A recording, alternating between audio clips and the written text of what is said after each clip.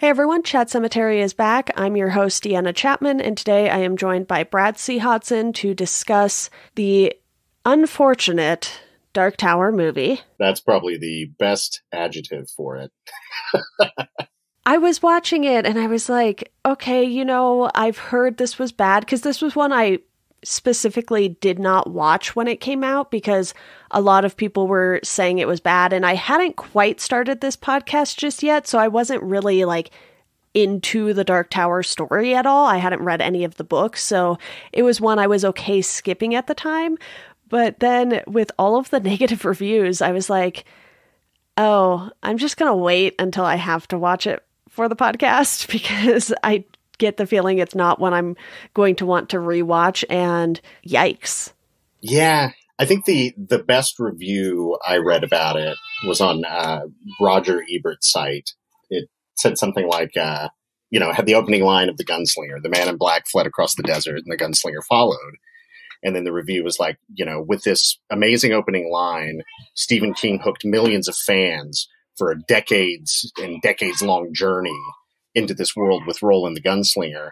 And not only is the movie a mediocre movie, but it doesn't even try to fulfill the promise of that. And I think that kind of sums it up best.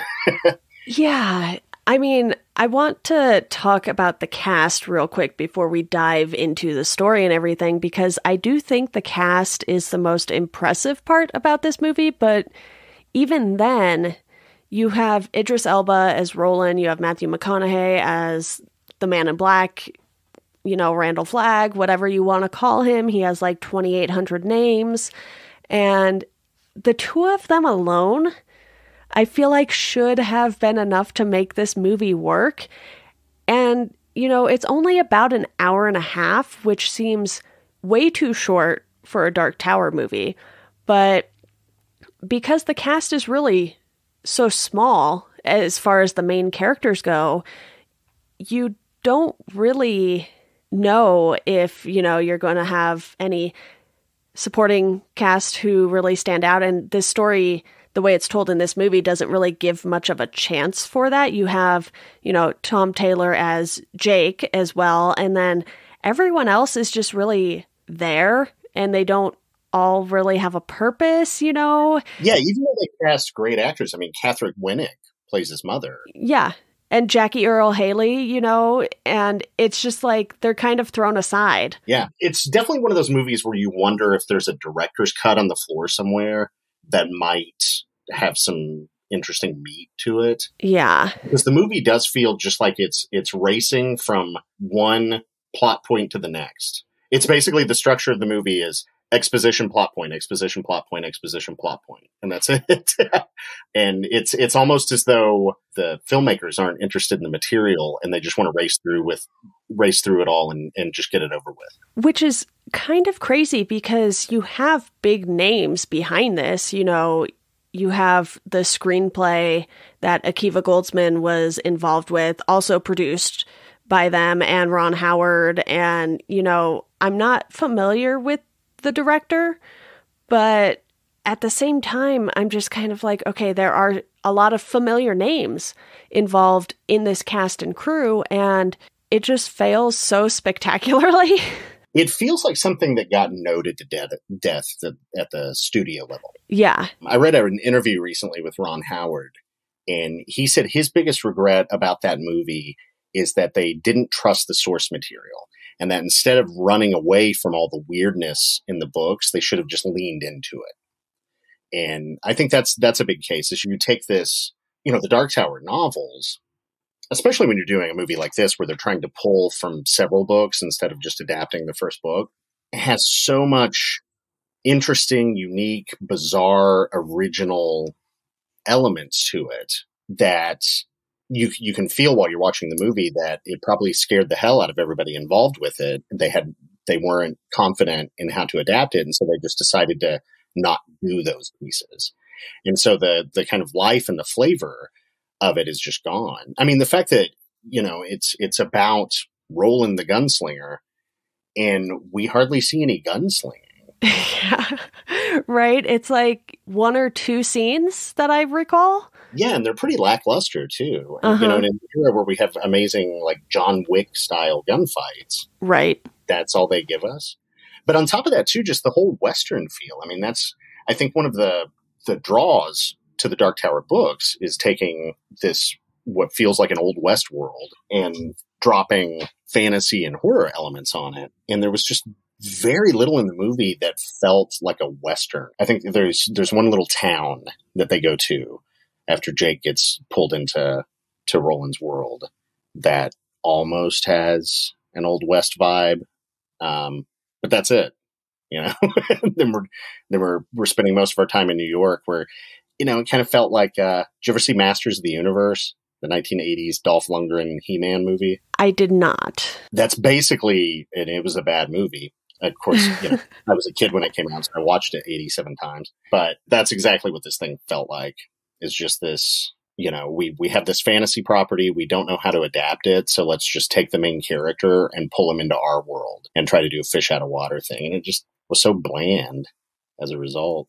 Yeah, and even though it made money at the box office, not a ton, but the budget was 66 million. It made like 113 million, which, okay, at least it didn't lose money, you know, but I went to the Wikipedia page to look something up while I was watching this, and the first paragraph, you know, after the break, where it gives you a little breakdown of who was in it, who was involved, it says, Intended as the first installment in a multimedia franchise, the film combines various elements from the eight novel series and takes place in both modern day New York City and in Midworld, Roland's Old West style parallel universe. The film also serves as a sequel to the novels. So it wants to be a first installment. It wants to adapt elements from all eight novels, and it wants to be a sequel. You got to pick one. yeah, and that was probably part of the big problem with why it ended up just being this mediocre, middle of the road thing is that they really didn't know what they wanted to do. You know, when I first heard the uh, the sequel idea, I was very intrigued by it because uh, you finished the novels, right? Yes. Okay, so spoiler alert for anyone listening who hasn't. Uh, at the end of the books, Roland basically, when he enters the tower, starts his journey all over again.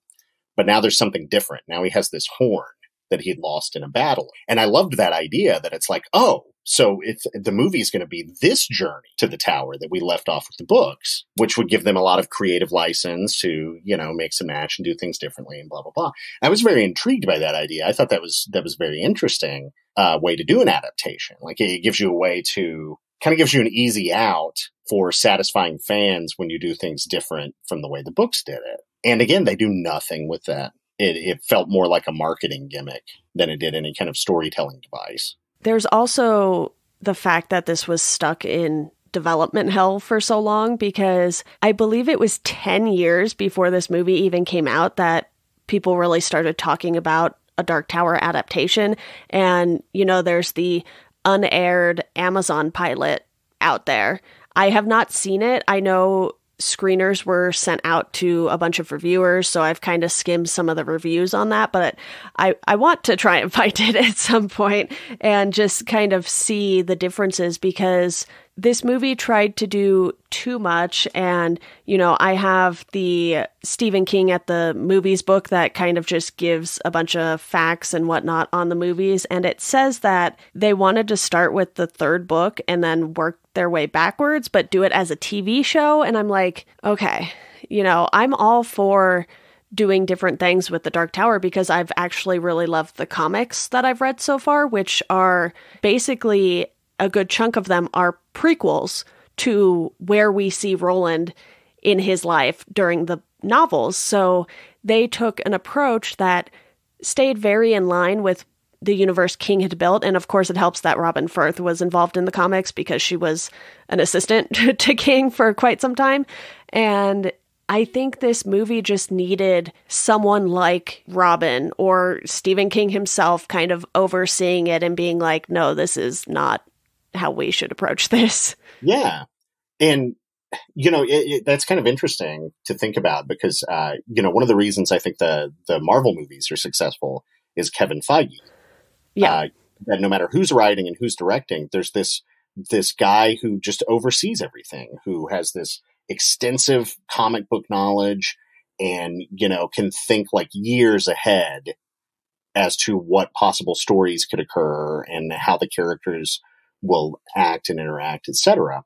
And so you get that that cohesiveness and that integrity uh, throughout the franchise. And so if you're trying to to build a franchise, especially one like this, I, yeah, I think having if you had someone like Robin Furth on board uh, as a guiding hand, it it definitely probably would have avoided a lot of these pitfalls. When I say a lot of pitfalls, there's a lot of pitfalls in this movie. yeah, so let's dive in because I already stated that it should have just picked one direction and gone with it instead of trying to be all the things all at once. So, you know, you could see what elements they were pulling in. They were pulling in Wizard and Glass, they were pulling in the gunslinger and, you know, bits and pieces from all of the other books. But did you feel like setting a good majority of this in New York was sort of one of the main downfalls of the movie?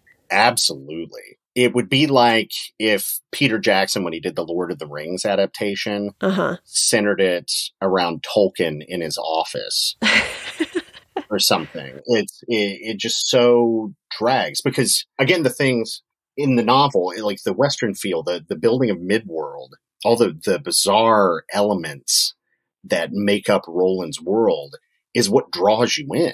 I mean, we don't spend in the books any significant time in New York and to, well, in, in the second book, when, uh, Roland's going through the doors and entering people's heads, you know, he comes to our world a lot. The whole establishment of the world and this character has to occur in Roland's world. Mm-hmm. I think that was misstep one. I think misstep two, which ties into that, was making Jake the main character. Roland's a character who is cold and distant and removed.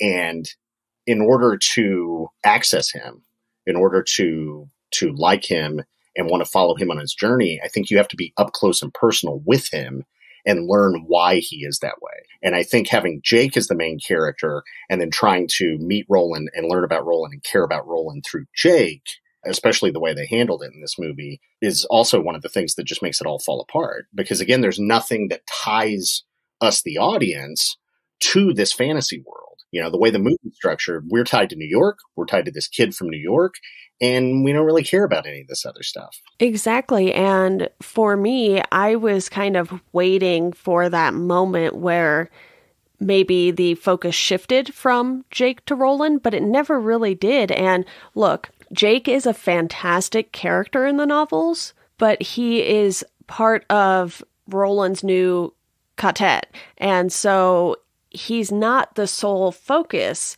in any of the books really as a whole, maybe bits and pieces of the books. He has his moments and he gets to shine, but it just felt like they maybe couldn't get locations long enough to have this set somewhere other than New York. I don't know, but because there's that 10 years where it kind of bounced around from a bunch of different groups of people, it's hard to know, you know, if anyone else's plan would have been better. Obviously, like I said, you have the unaired Amazon pilot, which is possibly one of the biggest what ifs as far as King adaptations go. Yeah. Yeah. If you ever get your hands on that, by the way, please send me a copy.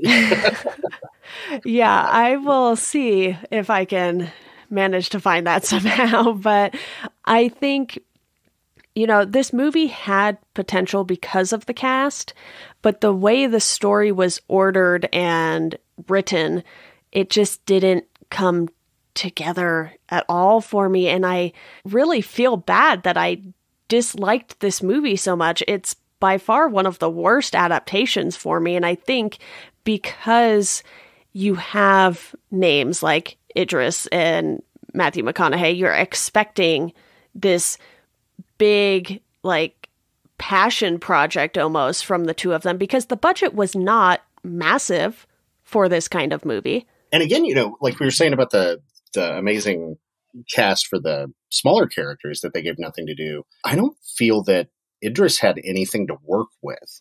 Like this iteration of Roland was so surfacey and flat and shallow. And he's such an amazing actor. I mean, I'm a huge fan of his going back to Luther. Yeah, same and he just had nothing to do. He was basically set dressing. You know, he walked around with some guns on his hip and You know, that was kind of it. They needed this movie to sell some trench coats. yeah, yeah. It was just one big trench coat marketing. And then hmm. on the flip side, I felt Matthew McConaughey actually needed to be reined in. Yes. So that was again like something I was excited about when I first heard details about this movie was casting him as the man in black. I think that's perfect casting. But then I don't know if it was his choice or if it was the director, but the way he played the man in black, there was almost like this faux British voice he was trying to do. Whereas it's like, no, no, if you cast Matthew McConaughey in that role, especially because he is Randall Flagg. Like you, you go through and read the stand, like you want Matthew McConaughey, you want the Southern, slightly white trash, like off kilter, little crazy McConaughey, and trying to turn him into this, you know, generic Star Wars villain is basically what it felt like. Really sucked anything interesting out of the Man in Black. If you're going to have Matthew McConaughey play the character that way, he has to have other characters he can bounce off of. But because yeah. of how Roland is, you know, his personality is, he's not that character for that kind of representation of the man in black. And obviously, Jake spends a lot of this movie not really knowing what's going on and, quite frankly, looking terrified, you know, a lot of the time, which when you read the books, you come to know that Jake kind of grows out of that and he does so fairly quickly. So you just feel like these characters are well casted, but the stuff that makes them these characters that we've grown to love throughout the eight books, nine if you count the stand, it's just not there. Yeah. You know, in, Roland's case, we don't, and this is again a problem, I think, by making Jake the point of view character we don't understand Roland's determination. We don't understand everything that Roland's gone through. Um, I mean, it's very important. You get all this in the first book. This isn't stuff that's even like peppered throughout the series. Uh, when we meet Roland, it's not very long in the books until we learn about the fall of Gilead. Mm-hmm. You know, what happened with his mother and his father and Marten and you know, his rite of passage and all this, like we get this sense of somebody who's gone through a lot of horrible things. And the only thing he has left is tracking this man down, making him pay, and then going on to the Dark Tower. When Jake comes into his life in the books there, Jake represents this other path he could take, you know, that he could give up that and maybe develop relationships with people, which of course becomes a big theme for the whole series you know, so that becomes a very powerful, important moment, especially the choice he has to make later with Jake when he's close to catching the man in black. All right there in the first book. In this movie, we don't get to know Roland well enough to get any of that from his character. And as a consequence, the introduction of Jake into Roland's life means nothing. One of the things that Roland is best at in the novels is his ability to tell stories and recall so many details from his past. Obviously, we're relying on him to give us an accurate representation of those, but because there is no other representation, we never really know. But it's always implied that his memory is really, really good. And you don't really see any of that in here. So it doesn't really give you a reason to care about most of these characters. It does give you a reason to care about Jake because you see the loss he suffers. You see him going through this thing that his stepdad clearly doesn't believe, and how he can be abusive and all of this stuff. So you do have this sympathy for Jake, but outside of that, they didn't make me care about any of the characters really. Of course, you feel for his mom because, you know, the man in black just comes and kills her. You don't feel bad about the stepdad. yeah you know, kind of going back to it seemed like they're trying to do several things. There's very much a a feel throughout this movie that Jake was supposed to be that it was like a chosen one story, right? You know, making Jake into a breaker that they want to take Jake and, you know, use him to break the beams, et cetera, et cetera, and that he's got these latent psychic powers. And it felt very much like a young adult chosen one story that Jake's going to be the one who has the power to do X, Y, and Z uh, and that Roland would be his guardian or, or some such.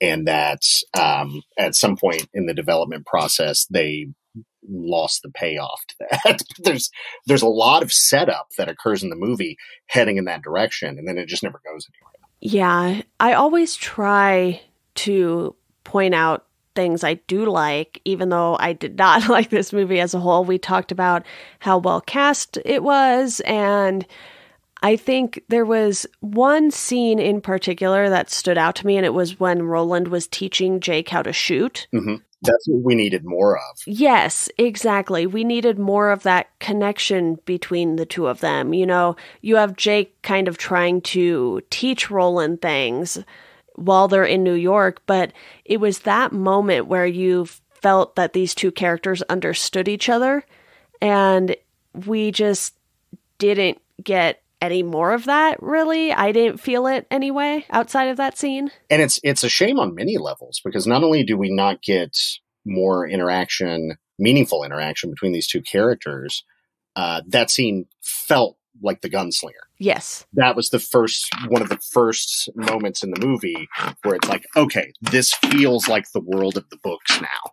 This feels like we're getting even if we can't see roland fighting we're getting his expertise. Yep. Right now on gunslinging. Another couple of scenes like that, and I think it really could have elevated the movie. I totally agree, and I probably don't have a whole lot to say about this one. Some of the CGI too just didn't look fantastic. And, you know, I actually just went and rewatched the first It movie, both of which came out in 2017. And there were a couple CG things in that that didn't quite hold up either. But in this, you know, the portal and everything, I was like, I feel like this just needed to look better as well, considering how important the Dark Tower is in the Stephen King universe. Yeah, and I think part of that uh, was again running away from the source material because when you read The Gunslinger, and look, I'm all about film adaptations making different choices. It's yeah. a different medium. There's tons of different reasons that go into it. Some things that were wonderful on the page just don't work that well on screen. Mm-hmm. And, you know, so like I said earlier, I was actually kind of excited when I first heard about all this stuff.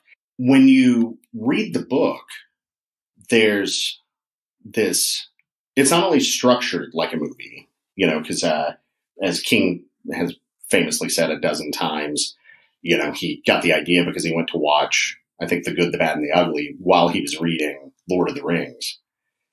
And so it, it very much feels structure wise like a Western film already in the book. Like I think you could just shoot the book and you would be fine. But also with that is that whole idea of the spaghetti Western like if they from the get go had said, we're going to make a Western, that would automatically dictate the look of the film. And it would have been an interesting look. You know, I mean, you just, when you pick up the book, even that first line, the man in black fled across the desert and the gunslinger follows, you can almost immediately see that in your head. You know, this like 70 millimeter wide shot of a desert and, you know, the silhouettes of, of Roland and the man in black you know, moving across this heat baked land. I mean, it's, it's right there. And they did none of that. It just has generic movie feel. Like it felt like something that would have been released as a throwaway movie in the summer of 94. you know, like, oh, we'll just, we'll get this out of the way. Maybe we can sell some toys before we move on to, you know, Godzilla or something this year. you know? Yeah. It's really unfortunate that I think a lot of people agree with us and did not like it. Maybe they weren't quite as harsh as I was on it, but it just fell so flat. It was almost like watching one of the 80s adaptations that was more derivative than an actual adaptation. Yeah. With a higher quality, though, because, you know, this definitely had more than, you know, the Mangler 2 did for a budget. yeah which I suppose that might have been the 90s, but still, you know, there's definitely like lower quality King adaptations that you can tell with the look and the feel of them, but they have this sort of charm to them for a handful of them or more than a handful of them that this movie just didn't have to save it. Yeah, I mean, you, you look at something like, um, I don't know why, but I recently watched The Night Flyer uh, with Miguel Ferrer Yeah. And um, you know, very low budget. It's it's got a lot of you know some of the the other actors in it are really hammy. There's not a lot of you know great cinematography or anything, but like you said, there's a charm to it, and I think the charm comes from just leaning into the source material because it's all there on the page.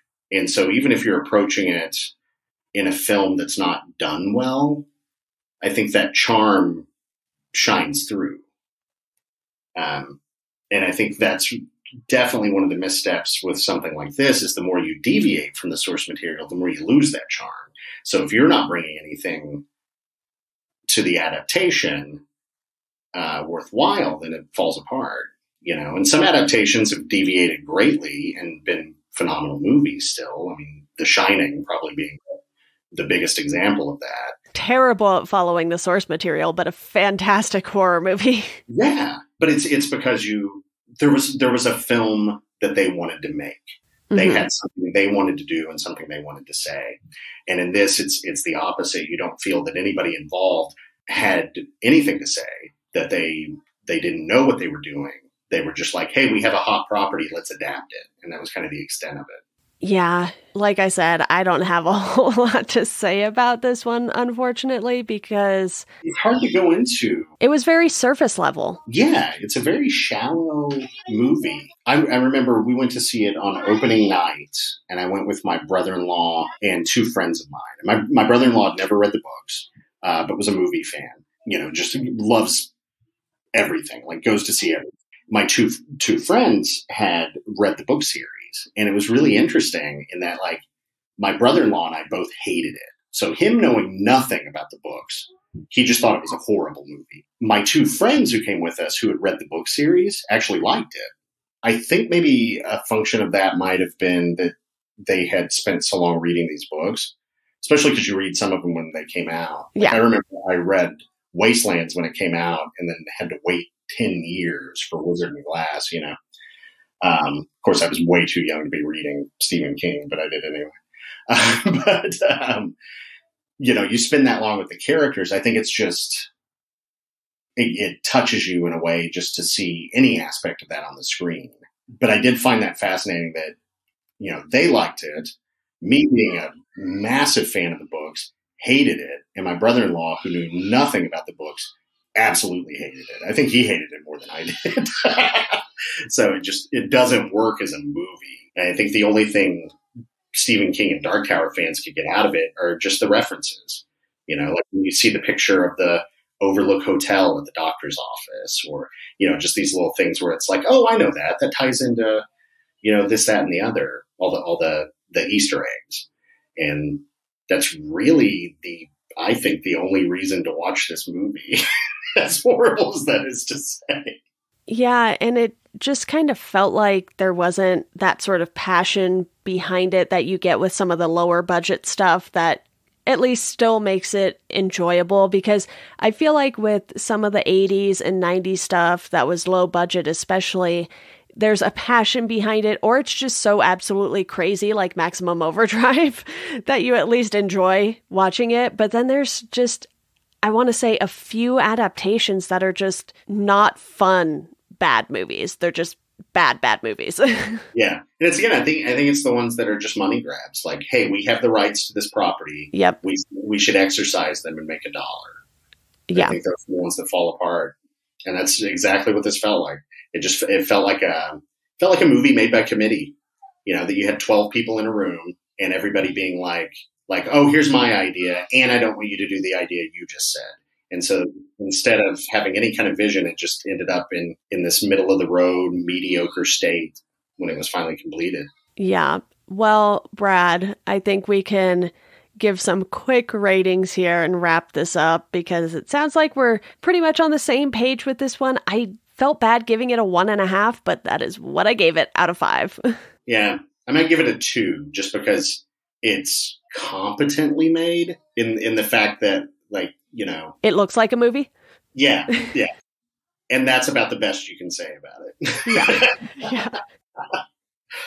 Oh yeah. It's just one of those ones i definitely will not be revisiting. And, you know, there are a lot of the adaptations that I probably won't revisit. And I know that once I'm caught up, I'm actually going to just take a little break, you know, kind of clear my mind of all of the Stephen King stuff that I've spent the last three years reading and watching, and then maybe kind of return to some things here and there because I'll go back and I'll look at my ratings for some things and I'll be like, okay, was I just too excited about that movie at the time?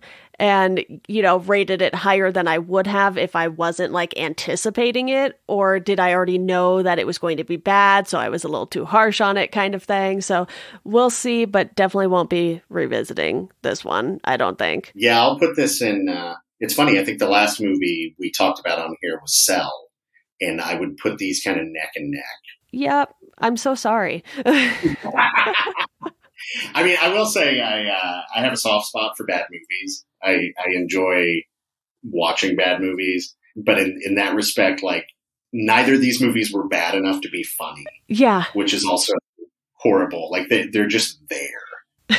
um, so. Yeah, it's not like either had like terrible gore effects that you could laugh at or anything like that. It was just bleak. yeah.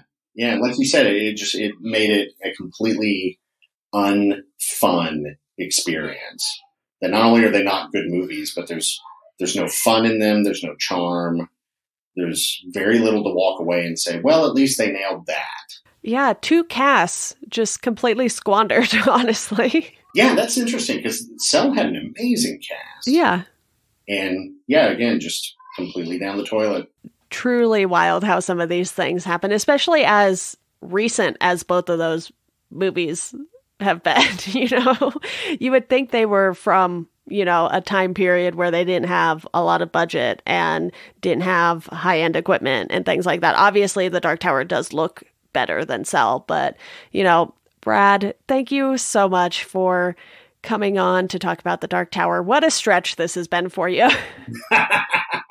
well, thanks for having me on. At least if I, I'm going to set through these things, I get to complain about them afterwards. yeah. Well, you will be back for some bonus episodes down the line. So I look forward to talking to you about hopefully things that are better. yeah, I'm looking forward to those those bonus episodes. I think that'll be really fun. All right, that does it for this episode of Chat Sematary. You can support the podcast on Patreon for a dollar a month. You'll get a thank you on the show for $2 a month. I will send you a Chat Sematary sticker. And if you want to follow us on social media, you can do so at Chat Sematary on Twitter, Instagram, and Facebook. You could also rate and review the show. That's a huge help. And as always, thank you for listening, and we hope you enjoy the rest of your day.